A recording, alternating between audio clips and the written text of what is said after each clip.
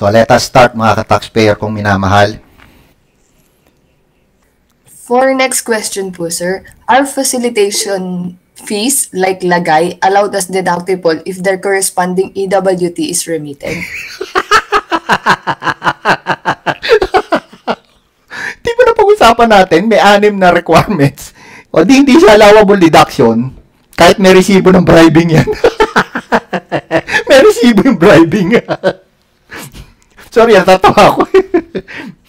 oh, so, hindi siya allowable deduction kasi uh, kahit nag-withhold ka ng tax, bawal pa rin yung nangyari. Actually, inipit mo yung sarili mo by withholding a tax eh. Hindi naman subject sa withholding tax ang bribe. Lalo mong inipit yung sarili mo, magkakaroon ka lang ng malaking problema. so, hindi siya allowable deduction. At mali yung documentation. Another question.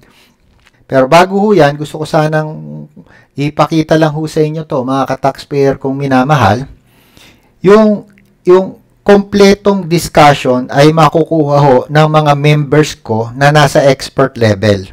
Ito po, expert level. So, sangkatutak ko yung ilalagay ko diyang mga analysis and protest kung magiging member kayo ng ating tax specialista YouTube. At kung meron ho kayong pagkakataon, nire-request ko sana na i-copy-paste po ninyo itong link na to sa, sa mga network, social network, or social media na kayo po ay miyembro.